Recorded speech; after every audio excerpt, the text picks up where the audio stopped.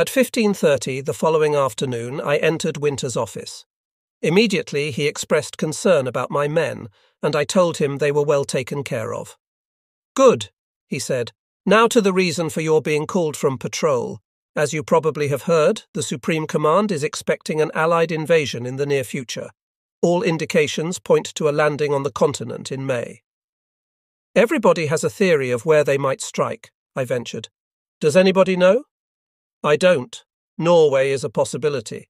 Some think they might try to land on the Biscay coast, but most likely they will try to go ashore near Le Havre, the shortest distance from British ports. In any event, we have to be vigilant and prepared. Your boat will be overhauled immediately. Only the most urgent repairs will be permitted. Have her in combat order in ten days. At that time, your men must be on a six hour alert. Instructions about your operation and tactical deployment will be given at this office by Senior Officer West as soon as all commanders involved have assembled for our counter-offensive. Recalling his concern for boat and crew, I challenged him. It seems likely, sir, that such an extraordinary mission will require a schnorkel. Have any provisions been made for installing one aboard U 415? Not that I know, he said evasively. There is simply no more in supply. I am sorry, but you will have to operate without it, and so will most of the other captains. We'll have to fight the invasion with what we have. Sir, headquarters can't assume that we'll be able to reach the operational goals without a schnorkel. I understand your argument fully. However, I am in no position to change the situation. I wish I could help you, but there is a limit as to what I am able to do. I left Winter's office determined to dig up a schnorkel and have it installed aboard U 415 before the Allies would strike. Measured by the great enemy power we had seen at sea, I was convinced that any invasion force would be so gigantic that none of our U boats would have a chance to survive without a schnorkel. It was disturbing to realize how little headquarters had learned about the Allies' power, and how little our terrible losses had taught the men in Berlin. I brought U 415 to dry dock and arranged for her overhaul. Then I telephoned the shipyards in Lorient and Saint Nazaire about a spare schnorkel, but with no success. Schnorkels were in such short supply that only seven boats operating from Brest were equipped with the underwater breathing device. For a moment I saw a ray of hope. A shipyard engineer told me of having seen schnorkel assemblies lying around in the freight yard of the Gare de Montparnasse in Paris. However, my efforts to requisition and transport the desperately needed equipment were drowned in a sea of bureaucratic confusion. I eventually resigned myself to the bitter fact that I again had to sail without a schnorkel. For a number of days, single U boats sailed or limped into harbour. They amounted to only a fraction of those which had been ordered hack to counter an Allied invasion. During the first four months of 1944, over 55 boats had been destroyed about 80% of those sent to sea. The meagre tonnage we sank in that period did not justify the sacrifice of so many boats. Their survival alone should have been of highest priority, so that they would have been available when the Reich's existence was in gravest danger. With the return of U 821, the thin trickle of U boats ceased entirely. U 311 was sunk on her run for port, and U 392 failed to meet the escort near the rocks. U 625 and U 653 were lost in the Bay of Biscay, and U 744 and U 603 disappeared without a signal. In addition to these boats, which had sailed from Brest and were expected back to bolster the anti invasion group, 20 boats had been sent out from bases in Norway. None of these newcomers had been equipped with schnorkel, and they also lacked the experience needed to escape the British death traps. Only two boats out of the 20 reached their destination. In all, only 15 boats, seven with schnorkels, lay in Brest to defend the Thousand Year Reich against a million invaders. The month of May had come with a fragrant explosion of magnolias and lilacs. These scents of new life were carried across the wide pastures of Brittany by a gentle breeze from the ocean, where death prevailed. When I had departed from the coast in early April, there had been only a presentiment of spring in the air. A warm wind from the south, a few opening buds here and there. During my absence, the trees had sprung into full leaf, the grass had turned greener, flowers had blossomed, and the countryside had plunged into hot, summer like weather. Under the common concrete roof, the shipyard personnel worked around the clock to have the 15 U boats repaired, equipped, and fitted out for their most vital mission. Torpedoes, fuel, and food were stowed aboard simultaneously to reduce the loading period, and our machinists made scores of repairs on their own, helping to put the boats in fighting condition by the required deadline. While the activity in the shipyards slowly subsided and the invasion jitters mounted in the compound, the enemy completed his immense preparations across the English Channel. He also increased his airstrikes on Biscay ports, harassing us at any hour, keeping our flak crews chained to their guns. Night after night, groups of Allied aircraft swept over our U boat bases, seeding harbours and waterways with magnetic mines. Day after day, our minesweepers searched for the hidden menace, and the sound of explosions echoed occasionally from the cliffs in the Bay of Brest. Large Anglo American bomber fleets penetrated France, systematically hammering, disrupting, and obliterating roads, rails, stations, depots, airfields, barracks, bridges, villages, and cities, devastating the beautiful France, which had been virtually untouched by the war. On one of those sunny and portentous days in May, Senior Officer U Boats West, Capitan zur See Rosing, made his expected appearance in the compound of the first flotilla to brief us on headquarters' plan to sink the Allied invasion fleet. Corvetten Kapitein Winter played host to the high guest, as well as to the commanders of the Ninth Flotilla from the other side of town. As we settled around the conference table, I took note of my colleagues in this extraordinary operation. My friend Hein Sieder, commander of U 984, was seated to my left and to my right was Dieter Saxer, captain of U 413.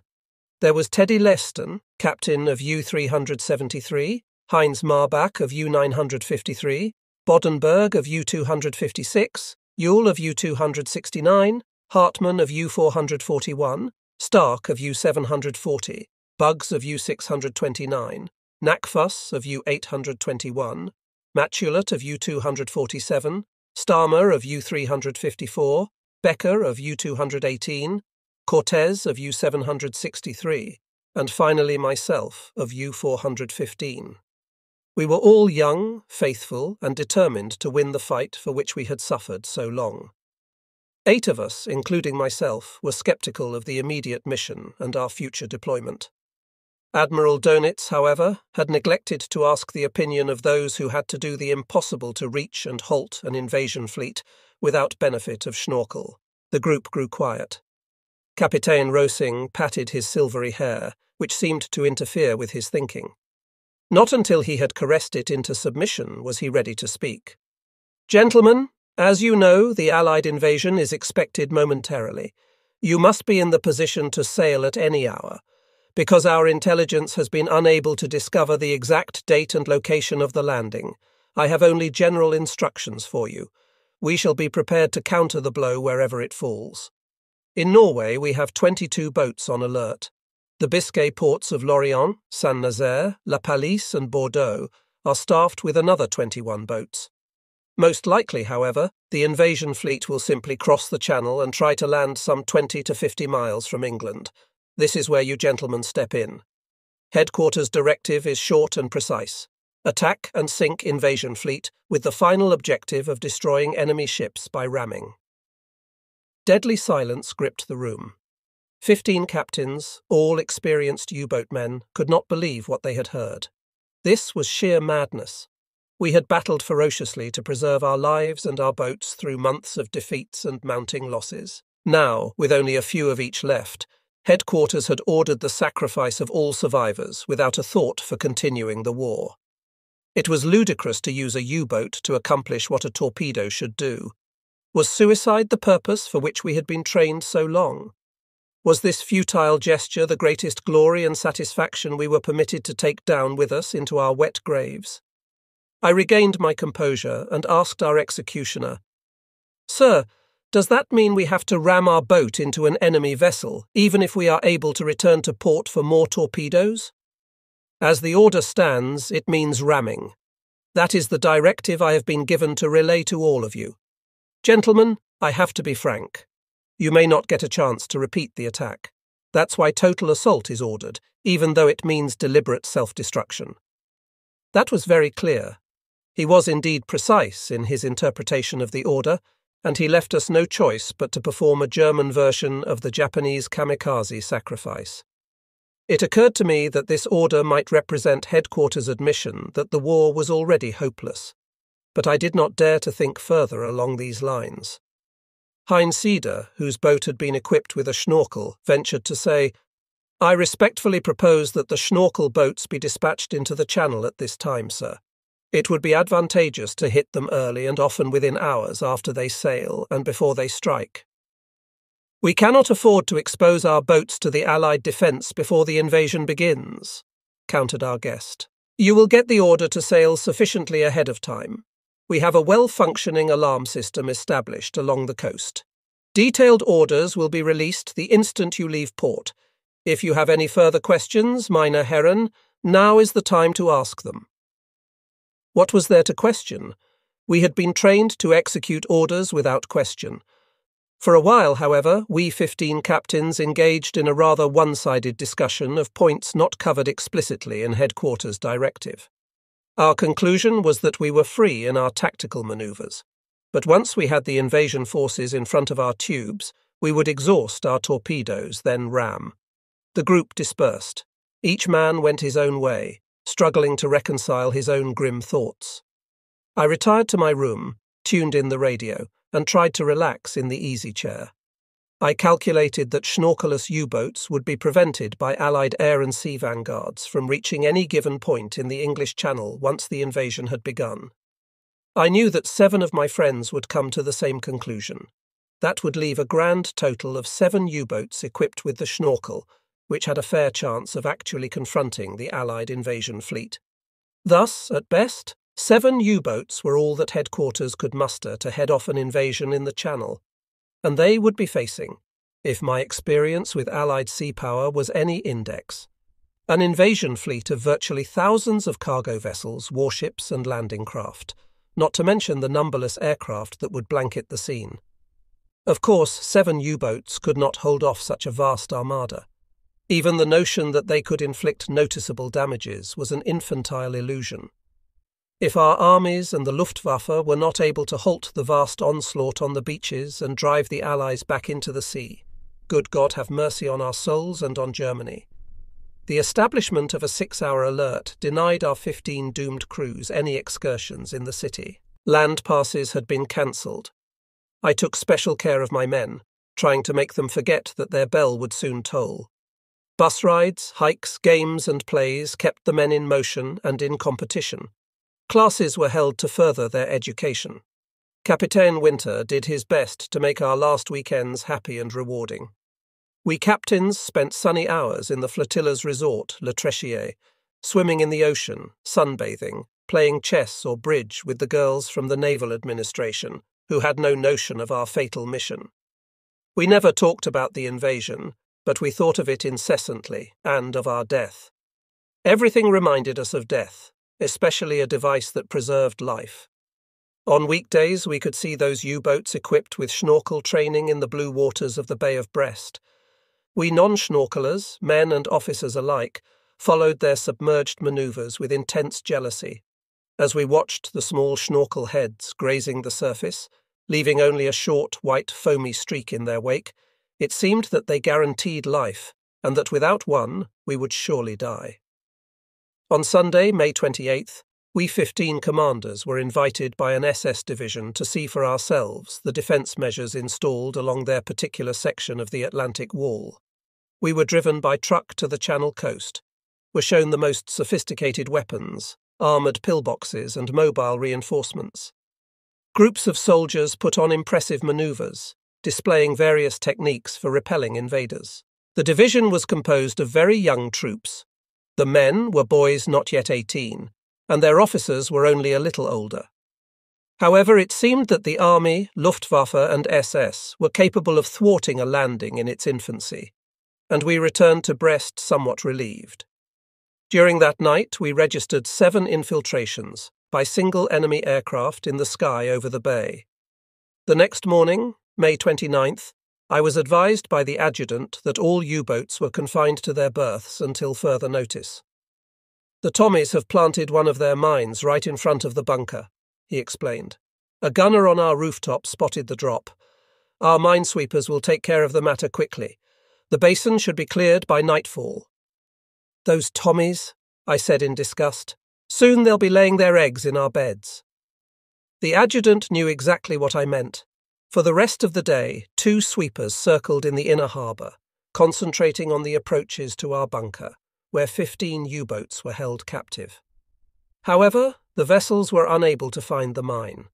By evening, the search was ended and the harbour opened for traffic. The matter was closed.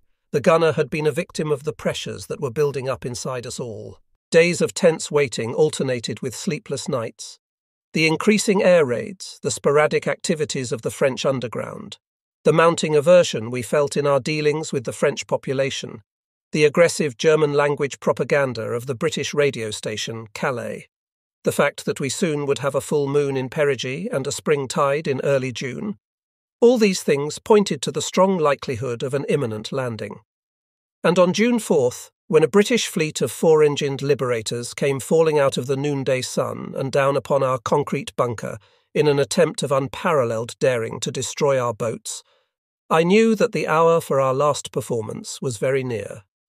Then came June 5th. In the early morning hours, before the chirping birds grew lazy and silent in the day's rising heat, I took my men on the road again. We marched through the suburbs, singing cheerfully, awakening the French. The seven kilometre hike was welcomed by my men as a departure from routine. In the afternoon, I left the crew in charge of my officers and went into town with Heinz Sieder, captain of U 984. Around 18 o'clock, we checked in the office for any word of the Allied invasion. Since nothing was new, we decided to have an elegant dinner in town instead of the thinly sliced sandwiches served in the compound. We entered one of our favourite places, selected two large live lobsters, and had baked snails as appetizers. Sieder and I enjoyed the classic Breton dinner, but missed the pretty girls of Brittany who had recently become so shy and retiring. I thought of Marguerite in Saint Denis and regretted that I probably would never again be able to see her or Paris. The compound was silent and darkened when we returned, all the lights had been dimmed, all the men seemed to be sleeping. Only the night watch and some operators in the radio room were on duty. In the middle of the night, I was awakened by the sound of fists hammering against my door. The steward's voice cried frantically, Emergency! The Allies have come! Emergency! I was at the door within a second. Where have they landed? In Normandy. The invasion is in full swing. Away he sprinted to awaken my friends. I turned on the light and looked at my watch. It was 0347. The date, June 6th, 1944. I thought with disgust. While the Allies had boarded their ships and landing craft, had warmed up their fighters and bombers, had sneaked across the channel to hit in surprise, we had been asleep in white linen 200 miles from the place where we should have been. Strangely tense, yet calm, I slipped into my battle fatigues without a shave. Little remained to be done. Methodically, I collected my belongings, bundled and stored them in my closet, secured my toothbrush and a small tube of paste in the chest pocket of my green blouse, put on my lambskin jacket and locked the room, walked downstairs, out of the building, down to the bunker. My call had come. I would not return. My crew was already assembled on deck for the roll call when I crossed the gangway. The exec saluted. All men are on board, sir. Boat is ready for patrol. I touched the peak of my cap and faced the file. Stand at ease. Men, you all know that the enemy has landed, or is in the process of doing so. We are no longer able to prevent that. But what we can do is cut off his supply and stop more troops from crossing the channel. We shall try our best. Prepare for immediate sailing. Man your action stations. There was no need of telling them the whole fatal truth. As far as my men were concerned, the mission would be just another normal one. I paced up and down on deck, awaiting the signal to sail.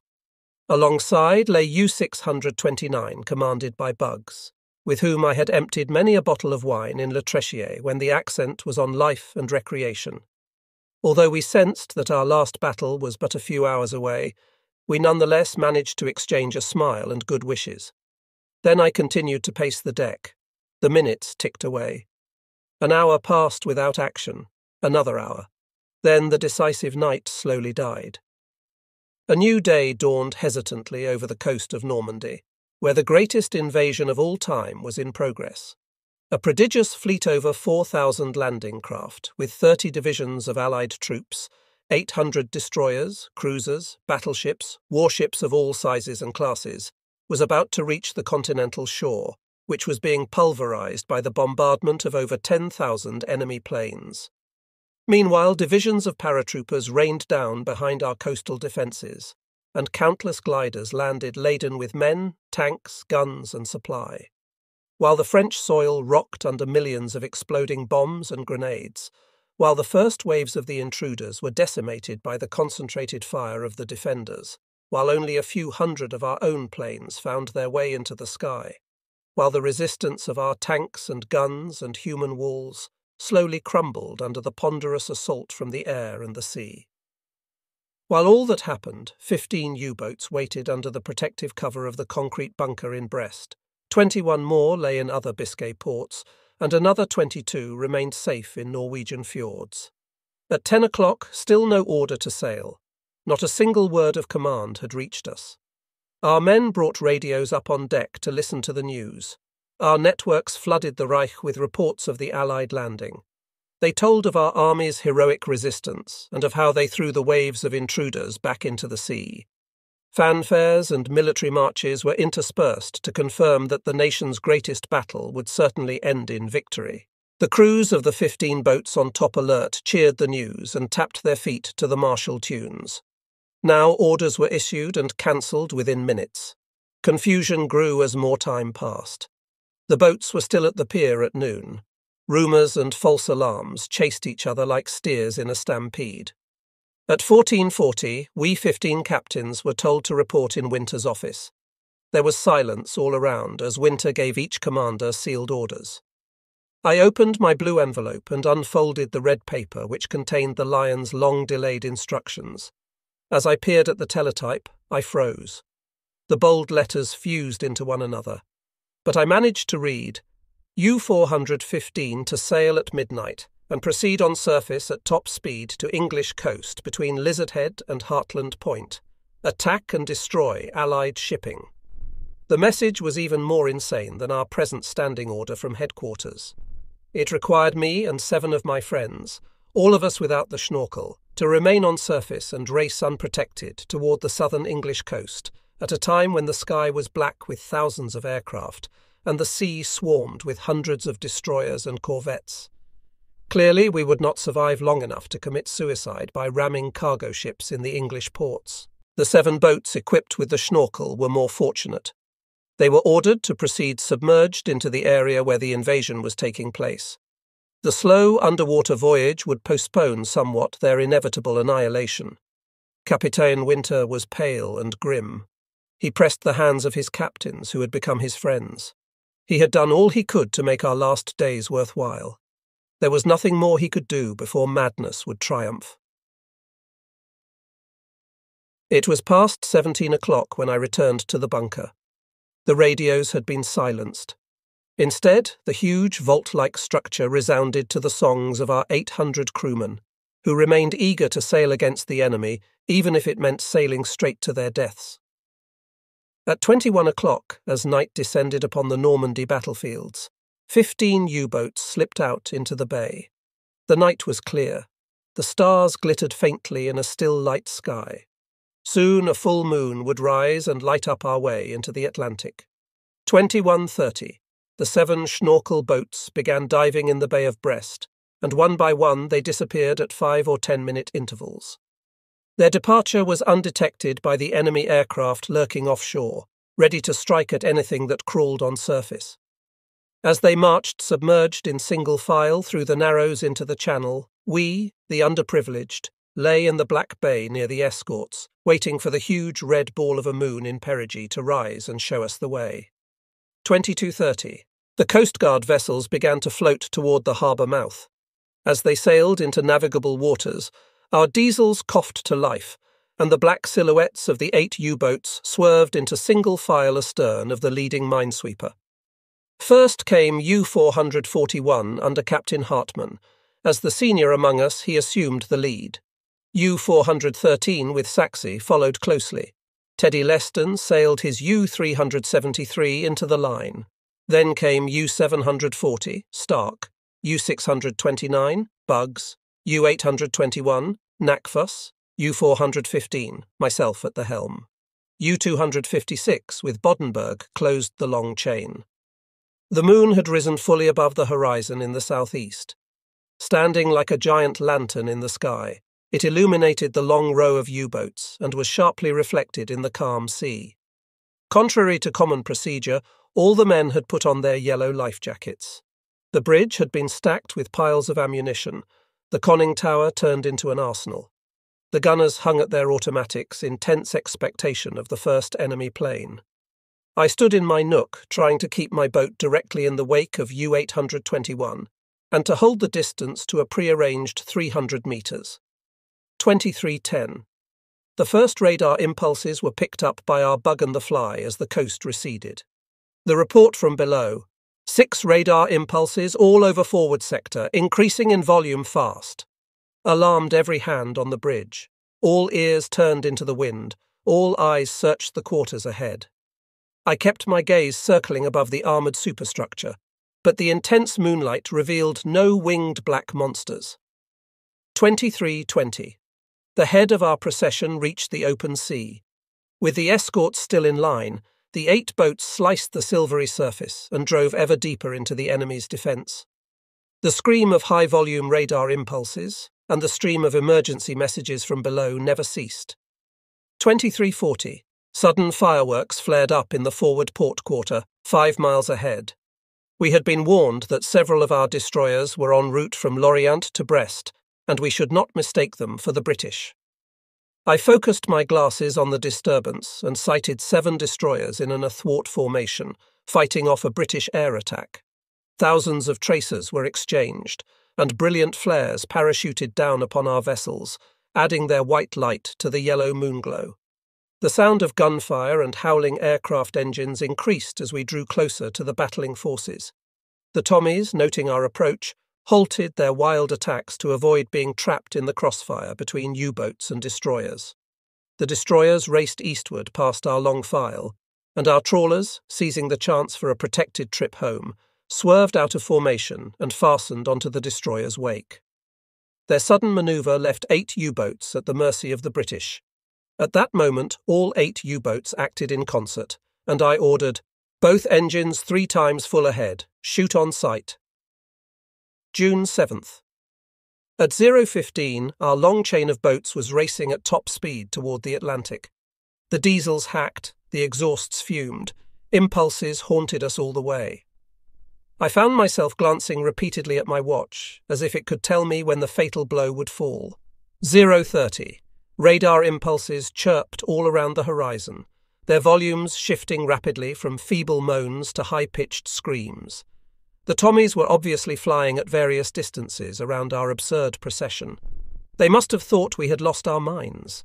Sometimes I could hear aircraft engines at fairly close range, but could not spot a plane.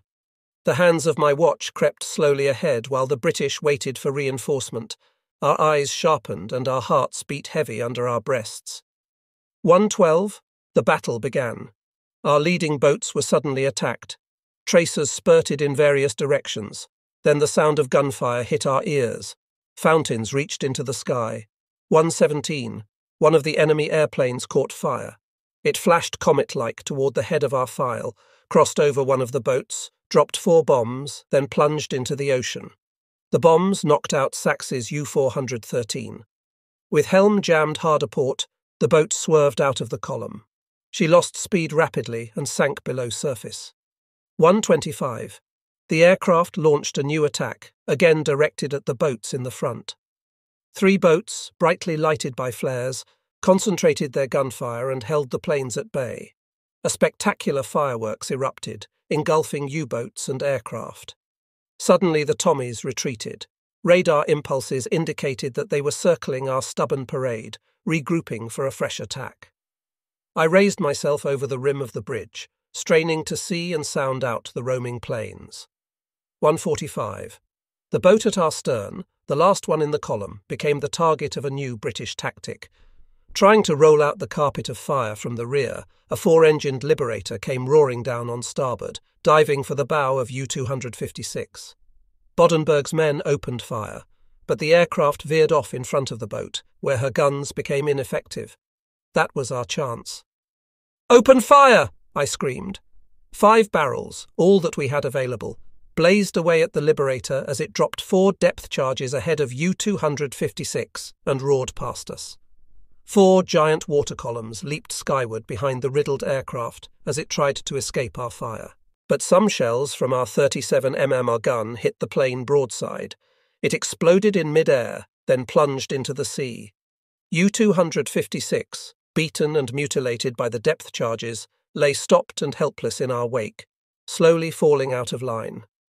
That was the last we saw of her. Realizing that her demise left us the first target in any new attack from the rear, I called for more ammunition. Radar impulses increased rapidly. For a while, however, the British held back. 220. Impulses now from starboard. I presumed several planes were approaching. Suddenly, a Sunderland shot out of the night from starboard ahead. I yelled, Aircraft starboard 40 fire!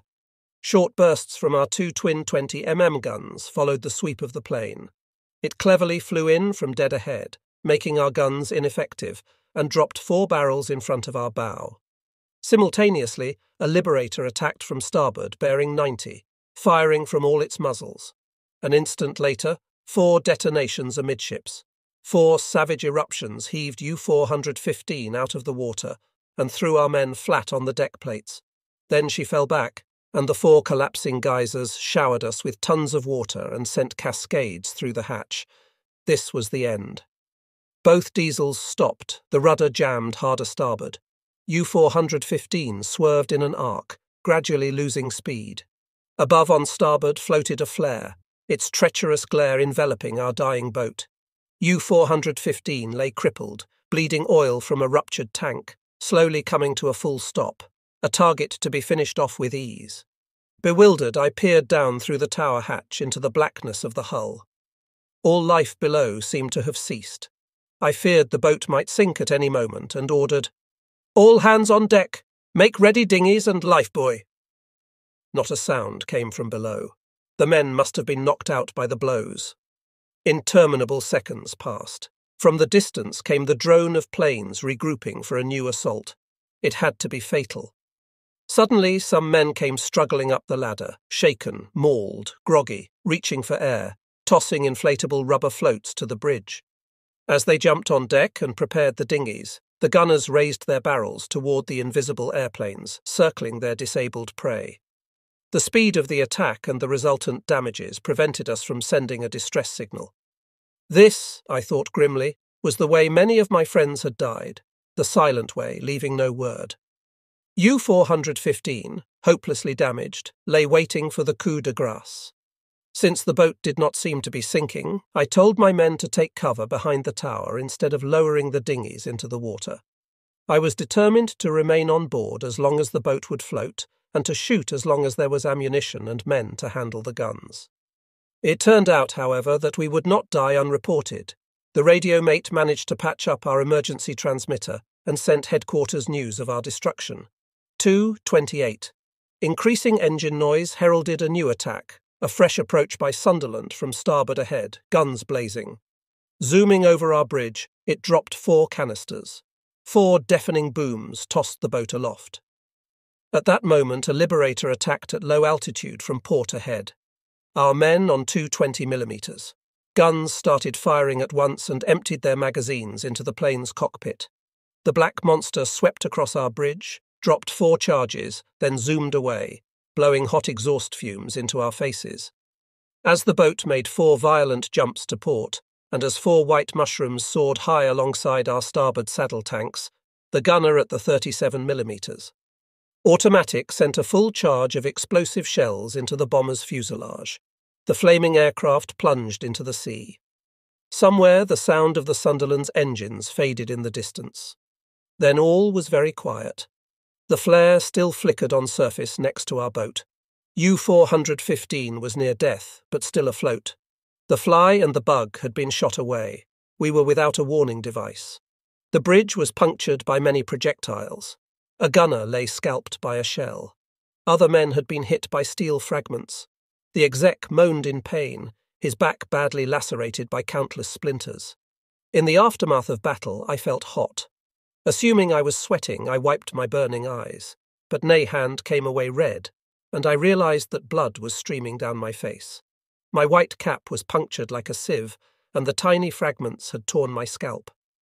Then I heard the chief's voice from below. Boat is taking heavy water through galley and bow hatches. Strong leak in radio room. I'll try to keep her afloat if you keep the bees away. Can you get her repaired for diving? I shouted back. Can't promise. We have no power, no light. We'll do our best. I lowered myself to the slippery deck. It was split in several places by the impact of depth charges which had hit the planks before falling into the water where they had exploded. One barrel had bounced off the starboard saddle tank and had left a deep dent. Far more serious, the starboard aft ballast tanks were split wide open. Diesel oil escaped in a thick stream, spreading rapidly over the surface. With each minute of truce, the danger of a new assault increased rapidly. The boat swung softly in the breathing ocean, paralysed, seemingly dead. The next twenty or thirty minutes had to bring the finale. With every heartbeat, we expected another attack or the boat to slip away from under us. Suddenly, the chief's creaking voice escaped the hull. Boat is ready for restricted dive. Twenty metres, no more. Only one motor good for 80 revolutions. Can you hold her at 20 metres, or will she go to the bottom? I can't tell. We ought to try. I tried. Quickly, the men climbed up the bridge and dropped one by one through the round opening into their iron coffin. I watched the deck gradually sink below surface. As the water crept up to the bridge, I slammed the lid shut. Seconds later, the floods engulfed the boat. The interior looked as if a tornado had struck. In the shimmer of emergency lighting, I saw that the floor plates were strewn with pipes, ducts, cables, glass, hand wheels, bunks, tables. Water gushed from the leak in the radio room and poured through the bow and galley hatches. Both drive shafts were bent, the starboard shaft so severely that it could not be turned. The forward batteries were cracked and the acid had flooded the compartment. Our radio room was a shambles and the gyro compass was wrecked. The depth finder was shattered, the electric and diesel compressors were demolished, both periscopes were out of order, the starboard diesel was knocked off its foundation, and the main centrifugal pump was ruined.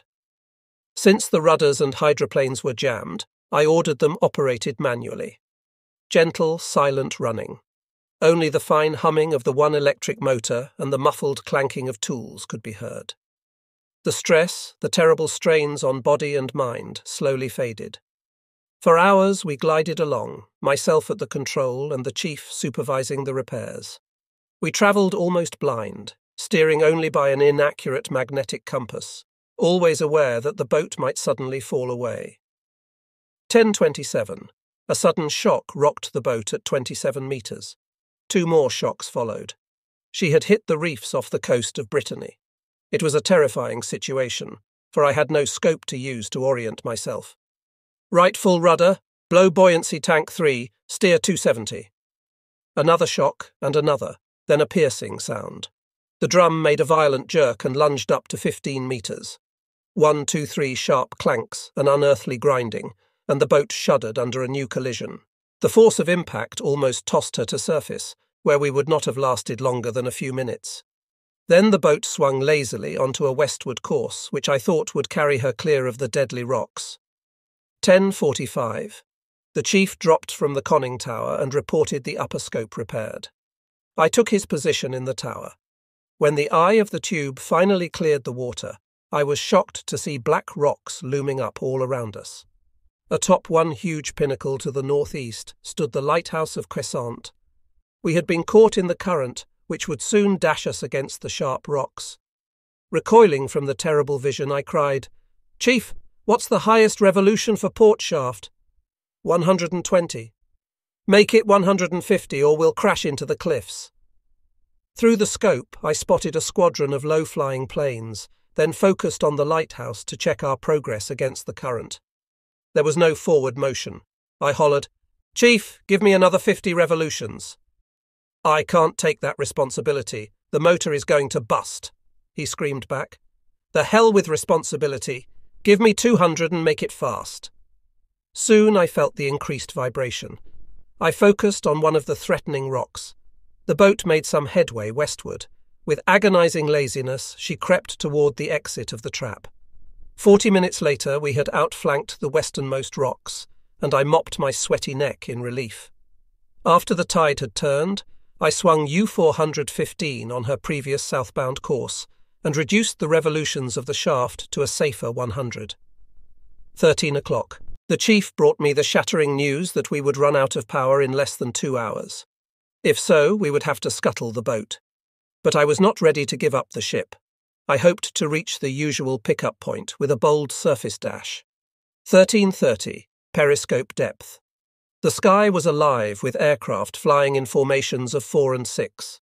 Land was nowhere in sight. 1345, periscope depth. A squadron of two engined planes skimmed the surface a mile to the north. 1358. Two liberators flew in from the east. I retracted the scope and waited. 1410. Upscope. An unevenness at the southern horizon convinced me that we were nearing the outermost cliffs of Brest. A quick check.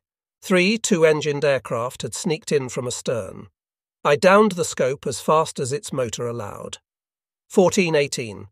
There were no black dots defacing the blue sky. It was our chance to try the dash to the point of rendezvous and radio for help. 1420. The boat broke surface. As I reached the bridge, the brilliant sun blinded me. The one diesel coughed and the sluggish boat gained speed slowly. I nervously scanned the sky while the radio mate fumbled with the dials of the emergency transmitter, trying to send the vital signal for air cover. Then minutes of solitude on the bridge. The boat limped through the hostile sea, trailing a flag of heavy oil. For inexplicable minutes, the sky remained empty. After improbable minutes, we arrived at the calculated intersection with the escorts. I turned the boat east to reduce the distance to land. But then our time expired. Five two engined planes appeared over the horizon astern. We dived instantly. Disaster. The boat, drained of electric power, went out of control, drove her stem into the bottom, then settled with a hard jolt at a depth of 42 metres. Long seconds later, a spread of explosions bellowed above. Water gushed into the boat and splashed over the floor plates, filled the bilges, and threatened to flood the electrical compartment in the stern. The water increased the weight of the boat tremendously, and if the enemy kept us submerged too long, U 415 might never be able to lift her weight off the bottom. 1935. High water short circuited the power supply for our only working pump. The chance to lift the boat grew dimmer fast. The hull was as silent as a tomb. Only the soft trickle of water was heard. I closed the green curtain around my bunk and considered the few alternatives left to me. 23 o'clock. I expected action from base at any time now, if anyone had heard our call. I ordered the sound gear turned on but the only noise the mate distinguished was our own. One o'clock. There was still no trace of a sound in the east, where port and rescue seemed so close. I decided to risk waiting another two hours, then try a lonely breakthrough. 150. Faint propeller noises dead ahead. The mate's voice electrified me. I joined him, putting on an extra pair of earphones. The escort's sound did not increase. It soon diminished completely. I felt the entire weight of the masses of water above the boat physically resting on my own body. Had the escort stopped? Was our fix inaccurate? Had they been attacked by planes and been sent running back to port? 307. The sound reappeared and grew louder quickly. The threshing noise of two propellers stood out clearly. I had to act fast or the vessels would turn away from the empty surface. 308. Blow all tanks. The air swished into the tanks, but U 415 lay motionless. 309. Stop blowing 1 and 3, all men to the rear. No movement from the boat. 310. All men to the bow blow all tanks, I cried. 311. All men aft. I broke out in a cold sweat. 312. All men to the bow run, fellows, run. The compressed air ceased to flow. 313. All men aft again. Then, very gently, the boat began to sway. She listed, shuddered, then rose and rose. U 415 had worked herself free. With a distinct shock, she broke through the surface and lay abruptly still. I flipped open the lid and popped into darkness. The two shadows short of our bow swung around.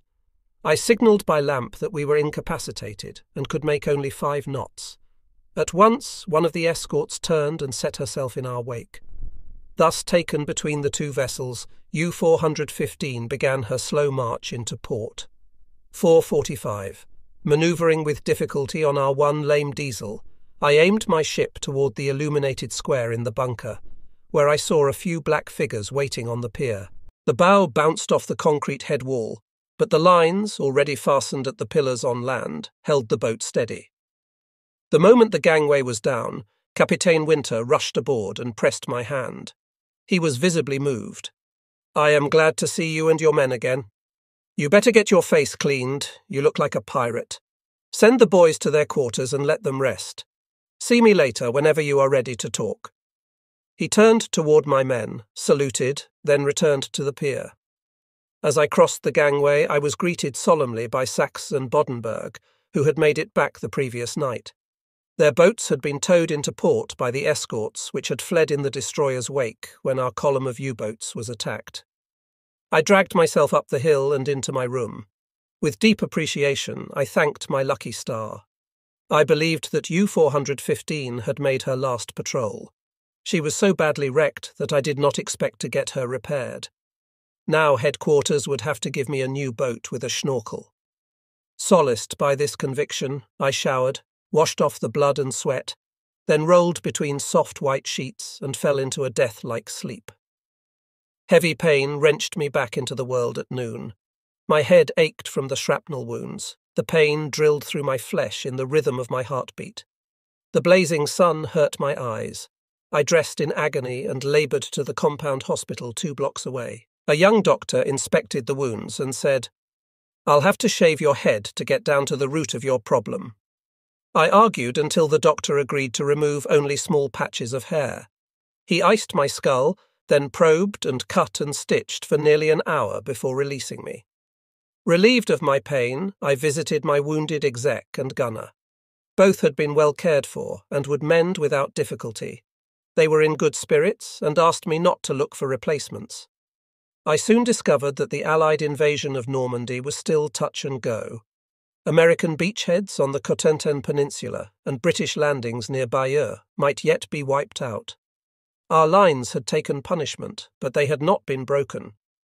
Meanwhile, however, the pitiful remnants of our U boat force had been decimated once again. In the month preceding that fateful sixth day of June, twenty five boats had been sunk, raising our total casualties to the incredible number of 440 boats, and leaving us with less than 60 operational U boats to counter the invasion.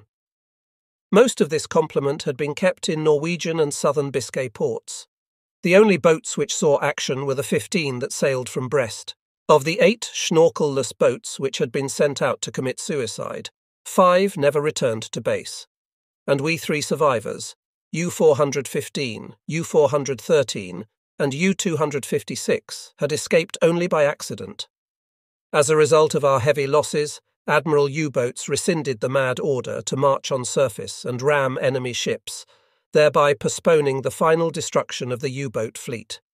As for the seven schnorkel boats which had left Brest with us on June 6th, their fate was not yet known. But five other schnorkel boats had been sent from the Atlantic into the Channel to offset our losses, and only two arrived there. Thus, we had lost at least 12 boats in the first phase of the invasion. U 415 had been put into dry dock. Practically everything aboard needed fixing or replacement, from our badly dented hull to the two useless drive shafts. My chief had itemized nearly 500 important repairs, but the list was cut down to 55 because of the shortage of parts and time. Every available boat had to be sent back to sea as soon as possible, even if she were barely capable of fighting. Somehow, U 415, with all of her woes, was to be patched up for another patrol within two weeks. While the work went forward, I kept demanding a schnorkel, but was repeatedly turned down. The explanation was that our supply trains were being sabotaged en route by the French underground. In desperation, I tried to hire a truck to conduct my own hunt, but I was forbidden to risk a cross country trip. Even common equipment and parts were in such short supply that it was decided to cannibalize U 256 in order to outfit U 413 and U 415. Bodenberg, the commander of U 256, decommissioned his wrecked boat and departed with his crew for home and a new command. With Bodenberg's departure, Sachs and I became the last U boat captains in Brest. We realized that the men who gave the orders had lost their good judgment and even their common sense. But we were trained to obey orders, sane or otherwise, and so we would die in U 415 and U 413. We never voiced our thoughts, never disturbed each other with any reference to our imminent, senseless deaths. We tried to concentrate on our duties, and we listened with growing concern to the news from Normandy, including the official armed forces communiques and the more accurate reports direct from the battlefields to the north. During the second and third week of the invasion, the Anglo Americans gradually consolidated their hold on the Cotentin Peninsula, then broke through our front in two places and began driving west. However, new German divisions were rushed into battle, and we still were hopeful that our lines would hold firm. In the same period, the U boat war continued to deteriorate. U 247, a schnorkel boat, was savagely beaten by destroyers and was forced to return to port before she entered the channel. U 269, another schnorkel boat under Uhl, was sunk off the southern coast of England. Five schnorkelless boats finally sailed from Norwegian ports and were sunk in quick succession. By June 30th, U boat operations since the invasion began were a full fledged disaster. We had sunk only five Allied cargo ships and two destroyers, and we had lost 22 U boats. During the last days of June, headquarters sent me an unwelcome surprise. Three young and very inexperienced officers arrived to replace my veterans. They were to get their first and probably fatal taste of submarine warfare. My crew viewed them with obvious scepticism, and the loss of my experienced officers left a huge vacuum that only I could fill. As I staggered under the weight of this added burden, U 415 was declared fit and seaworthy on June 30th. On the eve of my new patrol, I received a letter from home. It told me that my parents and sister had moved into an apartment in the centre of Darmstadt, the capital of Hesse, and that Trudy was expecting a baby in the fall. News of the baby delighted me, but I heartily disapproved father's move back to a town, into constant danger of air attack. I told him so in my last letter home. I did not tell him how death was coming ever closer to me. In a grim mockery of my prospects, I finished the letter with a cheerful wish for an early Wiedersehen